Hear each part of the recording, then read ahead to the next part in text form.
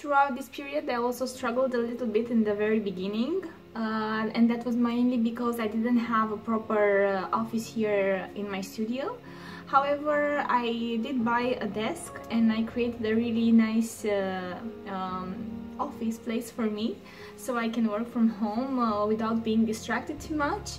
I started to um, join a lot of tutorials in programming for um, learning marketing and I'm also trying to stay as creative as I can. I uh, started looking and learning much more about nutrition and I started practicing much more sports, dancing, and all these things are keeping me quite uh, engaged throughout the day and I don't really procrastinate.